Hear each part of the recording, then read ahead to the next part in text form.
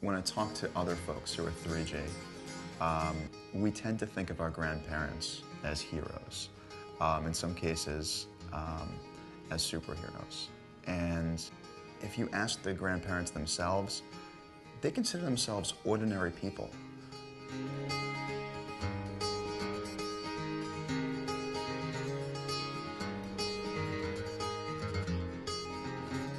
I think it's because their story is my story.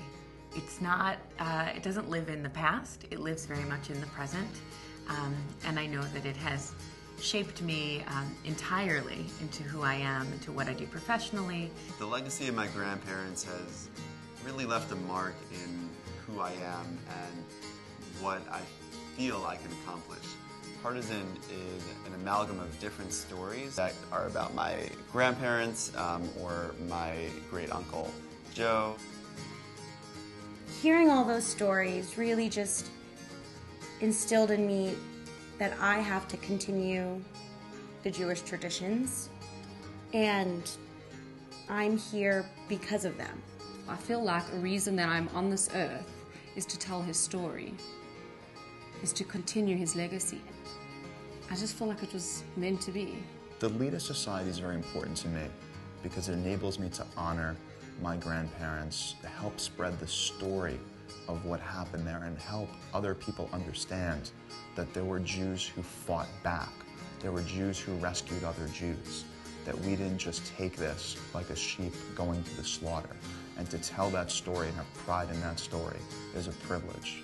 So, my grandparents have taught me how to be proud of who I am, how to be loyal to my family, to the Jewish people, and to the state of Israel, and how to really stand up for what is right and important and good in this world. For me, teaching about resistance encourages people to stand up for what they believe in. And if God forbid one day they're in a situation where the Jews are being slaughtered again, God forbid, my children, please God, will stand up and fight back, you know, and keep the Jewish legacy alive.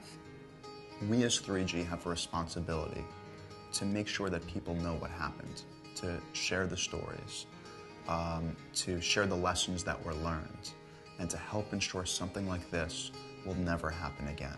It's important for the future generations to know that we are not who we are because we've arrived. We are who we are because of who came before us and who cared enough to love us and to create life for us.